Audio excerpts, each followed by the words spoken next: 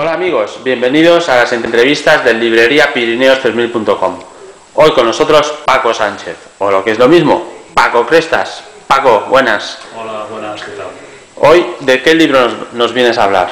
Pues mira, el libro de Corredores de Andorra, que es el primero que salió de la colección que estamos haciendo con Desnivel, dedicada a corredores a escalada en nieve y el mixto del Pirineo. Ajá. Es un libro específicamente de corredores. Sí, sí, sí, es un libro de escalada hibernal. Ah, no salen cascadas y salen corredores canales de nieve, algunas fáciles y otras pues ya más difíciles que comportan pues escalada mixta, escalada también en trozos de hielo y sí, sí, pero específico en esto, escalada hibernal. ¿Nos puedes enseñar un poco el libro? Sí, Por como dentro. veréis es pues un formato pequeño, muy manejable, que, que- que, bueno, va muy bien pues para llevar en la mochila. Dividido por sectores. Sí, dividido por sectores. Al principio de todo, pues hay información práctica, las condiciones de la nieve, el tiempo, los saludes, un poco sobre el clima de la región. Eh, luego, pues eh, se habla de la graduación de las dificultades, ¿no? Pues una introducción un poco pues al baremo que se hace servir para graduar tanto las dificultades de roca como de nieve, como de mixto, como de artificial, que en algunos casos puede haber, el mapa general y enseguida eh, también bueno, aquí hay los teléfonos útiles, webs, y enseguida entramos pues ya a las diferentes zonas, ¿no? Pues entonces cada zona tiene, por ejemplo, esta sería la primera, Pimorens, que esta pues eh, formaría parte de Cerdaña, pero está muy cercana a Andorra y por esto se, se puso eh, dentro de este, de este libro, pues eh, un mapa de la zona, una pequeña introducción a la zona, y rápidamente ya se empieza a hablar de cada cumbre y de cada cumbre la vertiente que tiene escalable, ¿no? Pues aquí, por ejemplo, el Pic de Fonfreda, tenemos lo que sería la altura, la vertiente, y entonces todo está estructurado con la misma información. Punto de partida, aproximación desde el punto de partida a la pared y luego el descenso desde la cumbre, pues para volver al punto de partida.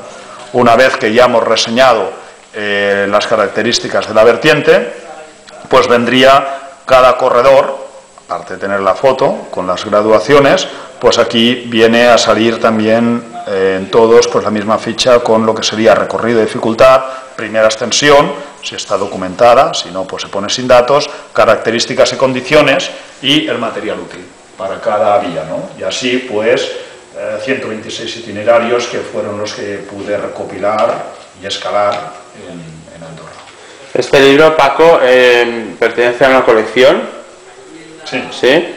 Y es, es un, una- un resumen exhaustivo, podemos Sí. decir, de todos los corredores que hay en Andorra. Sí, sí, la verdad es que eh, la, la idea es hacer, como ya he dicho antes, 10 10 libros y eh, toda la información pues, que me llega y que, que, bueno, que está pues, mínimamente contrastada pues, se, va, se, va, se va incorporando. ¿no? La verdad es que este fue el primer libro ah, porque Desnivel tenía interés que fuese Andorra, por- porque era un sitio que no tenía nada publicado, eh, lo que tenía era bueno, muy, muy, muy poca cosa, igual en alguna publicación salían 10 o 15 corredores, pero así exhaustivo no había nada que se pareciese. Y la verdad es que eh, fue un libro que me comportó hacer mucho trabajo de campo, ¿no? O sea, ir a muchas paredes, escalarlas, muchos corredores que no tenía información, también escalarlos, porque eh, faltaba un lugar, un centro donde encontrar la gran mayoría de, de la información, ¿no? Muy bien, Paco. Em, ¿Nos puedes resumir en, en dos frases eh, este libro?